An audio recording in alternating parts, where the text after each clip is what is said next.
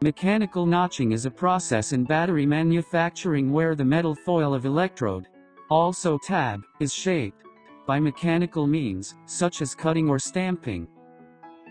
A large amount of leftovers is produced during the forming and cutting of the tabs. To deal with it, Villo has developed a specialized scrap compressor machine for the perfect collection and compression of scrap generated during this process. After notching, the electrode sheets are conveyed to the stacking machine. There is relatively little dust generated when the pole pieces are conveyed to the stacking machine. The primary role of the dust collector is to provide suction force, preventing the sheets from moving during transportation. Through a repeated Z folding process, the positive and negative electrode sheets are stacked together with the separator to assemble a bare cell.